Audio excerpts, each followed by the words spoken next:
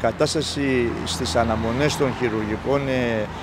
κρεβατιών είναι πάρα πολύ μεγάλη ε, παρόλα τα ευχολόγια της κυβέρνησης ότι με τα απογευματινά επιπληρωμή χειρουργία θα είχε μειωθεί ο αριθμός των ανθρώπων που περιμένουν, όχι μόνο δεν αποδείχτηκε αληθινός, αλλά ουσιαστικά είναι ψεύτικος και ε, στόχευε μόνο το να βάλει βαθιά το χέρι στις τσέπες των ασθενών για να χειρουργηθούν.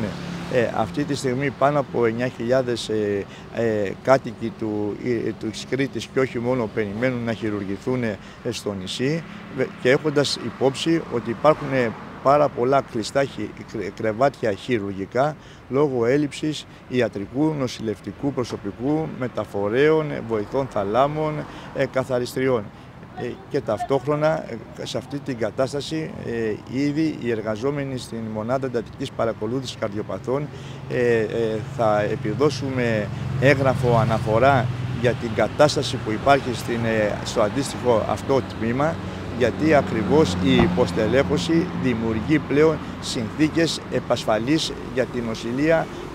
των ασθενών αλλά και βεβαίως τη δικιά μας δουλειά να τονίσω ότι καθημερινά σχεδόν ε, ή μάλλον μέρα παραμέρα δεν έχουμε καθαρίστρια, δεν έχουμε βοηθό θαλάμου, δεν υπάρχει μεταφορέας μόνιμος και βεβαίως υπάρχει μια παράδεκτη απόφαση ε, αυθαίρετη της διοίκησης που μετατρέπει, υποβαθμίζει τη μονάδα εντατικής παρακολούθησης καρδιοπαθών σε μονάδα αυξημένης φροντίδας μόνο και μόνο για να δικαιολογήσει μια τραγική υποστελέχωση 9 ε, κρεβατιών με σοβαρά προβλήματα ε, καρδιολογικά που χρήζει άμεσης αντιμετώπισης και ιατρικής και νοσηλευτικής με, με ένα πολύ μικρό αριθμό ε, νοσηλευτών, τριών σε κάθε βάρια, που όταν την ίδια ώρα πριν δύο χρόνια οι εργαζόμενοι στο συγκεκριμένο τμήμα ήταν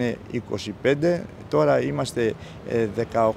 ε, εργαζόμενοι και δύο παρατασιούχοι ειδικευόμενοι νοσηλευτές και βεβαίως με πάρα πολύ μεγάλη ε, αυτοθυσία δίνουμε τη μάχη το να παρέχουμε ποιοτικές υπηρεσίες. Αλλά δεν μας αφήνει η διοίκηση, το Υπουργείο Υγείας και ο, βεβαίως ο Υπουργός ο κ. Γεωργιάδης.